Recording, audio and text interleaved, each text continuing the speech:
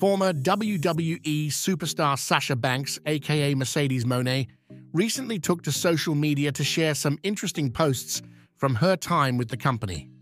The former SmackDown Women's Champion parted ways with the global wrestling juggernaut last year after she and Naomi, aka Trinity Fatu, walked out of the May 16th, 2022 episode of Raw she joined New Japan Pro Wrestling slash Stardom, while the latter signed with Impact Wrestling and is the current Knockouts World Champion.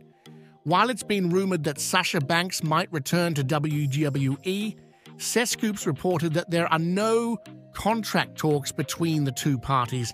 The site also mentioned that there have been no creative discussions for her return, and a tenured member of the company admitted that there is no deal as of yet. Sasha Banks posted a throwback photo of her time on NXT to her Instagram story and a clip from before she adopted her boss gimmick. With all the rumors of a potential return to WWE ahead of Royal Rumble 2024, this only added fuel to the fire.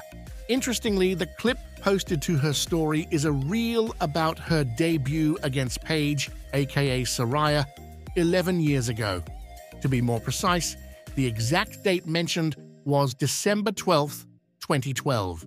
While it could be construed as a tease based on recent rumors, it could simply be Banks looking back and reminiscing on the 11th anniversary of her debut in WWE. Jade Cargill jumped from AEW to WWE several months ago, and she's appeared on TV a few times, she has the potential to become a megastar in her new company. Well, Miss Moné, we don't know yet if she's going to come back to WWE. She might sign with AEW or Ring of Honor, but I'd love to see her back in WWE. If Jade Cargill, who has said, just wait, we are planning things around me that are going to be really a gem and successful, I think a match against Sasha Banks would be in the cards. I think it would be magnificent.